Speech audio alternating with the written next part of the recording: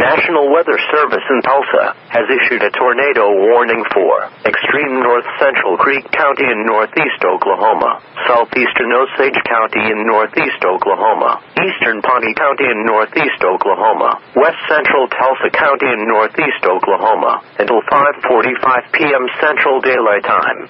At 5:12 p.m. Central Daylight Time, a severe thunderstorm capable of producing a tornado was located near Mannford and moving east at 45 miles an hour.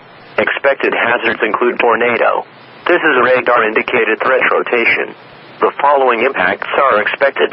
Flying debris will be dangerous to those caught without shelter.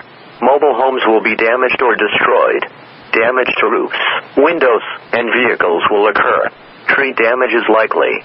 Locations in or near the path include Mannford, Westport, Keystone State Park, Walnut Creek State Park, Sand Springs, and Tulsa. Take cover now.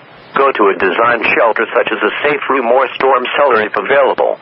Otherwise, move to an interior room on the lowest floor of a sturdy building. Avoid windows.